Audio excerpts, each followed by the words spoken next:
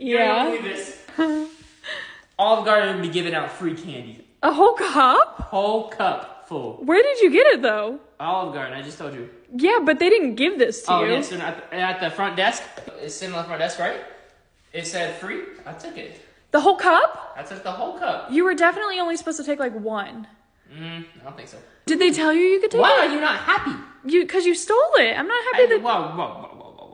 I didn't steal it. I think you did. I didn't steal it. You think I stole it? I don't think anybody else is gonna get candy now because you took the whole cup. Oh, that's not good. That's not okay. Uh, I don't. Guys like me don't do good in jail, babe. Well, just Wait, if- can you hold that? you'll be okay. She stole.